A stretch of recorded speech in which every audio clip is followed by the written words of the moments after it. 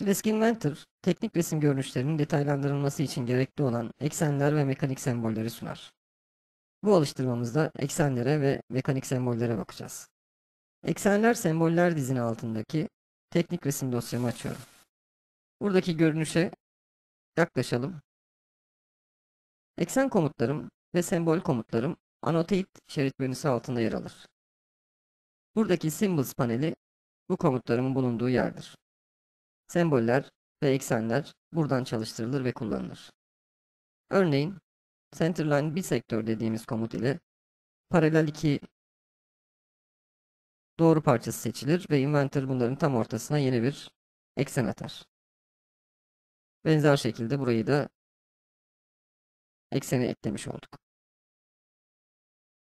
Bu kısma eksen eklemek için de yine doğru parçalarını seçiyorum ve tam ortaya yeni bir eksen atanmış oluyor. Bunun gibi delikler üzerinde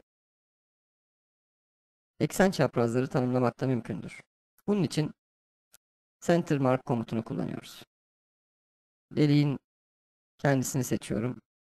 Şöyle biraz yaklaşırsak ve eksenler otomatikman tanımlanıyor.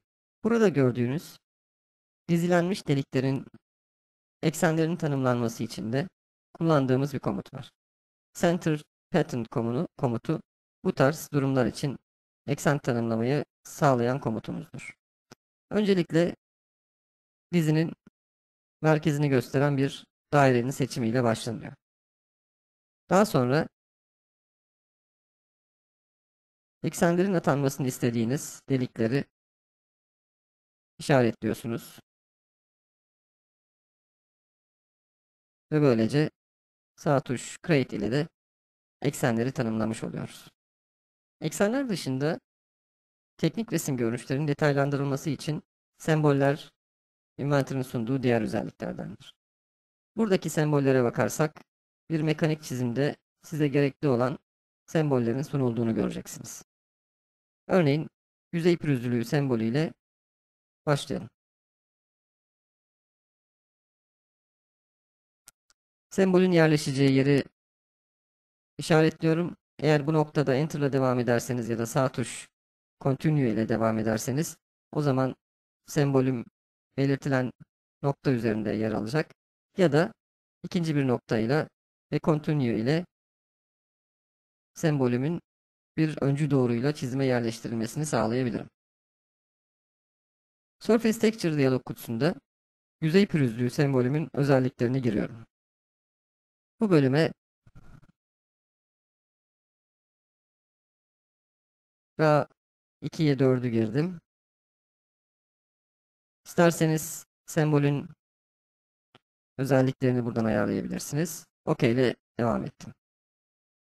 Done ile komuttan çıkalım. Bir başka mekanik sembolüm, sembolümde referans yüzeyi belirten sembolümdür.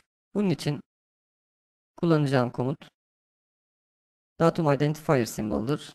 Komutu çalıştırdığımda daha önceki yüzey pürüzünde olduğu gibi sembolün yerleşeceği, atanacağı kenar seçilir. Daha sonra da sembolün yeri tanımlanır. Format text diyalog kutusu açılır ve burada sembol için yazı tanımlamanız ve bu yazının da özelliklerini değiştirmeniz mümkün. OK ile devam ederseniz sembolünüz çizime yerleşir.